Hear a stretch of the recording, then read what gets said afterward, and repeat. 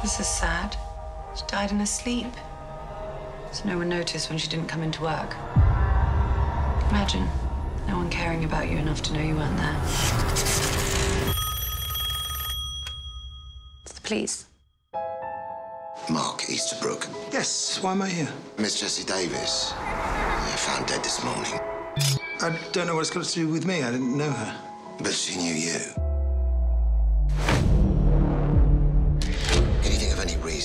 your name might be on a list? Am I in danger? Well, nearly all the people on it are dead. Roger Ormerod, Hubert Parkinson, Renee Sanford. That list is a list of victims. It's going to be us next. Where were you? You know, it's not your job to work things out. It's my job. Has anything like this been left for you? It's their sign. It means they're coming. Who's coming? The witches. I'm not superstitious. No, I'm a rational man. We're all rational when the sun's shining. It's different when it goes dark. My gut says there's something you're not telling me. Curses and craft and spells and hexes.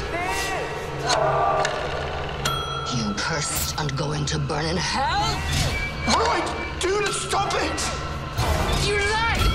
And I looked, and behold, a pale horse, and the name that sat on him was Death, and hell followed with it.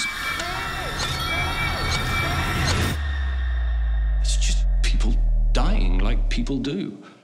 Like I'm going to.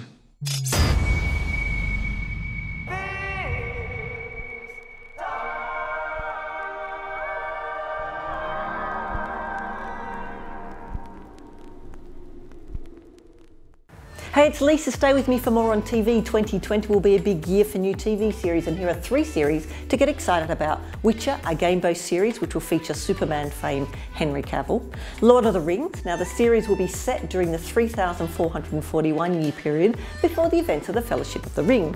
And Blood Moon, the Game of Thrones prequel. Hmm, now, what series are you most excited for in 2020? Let me know in the comments below.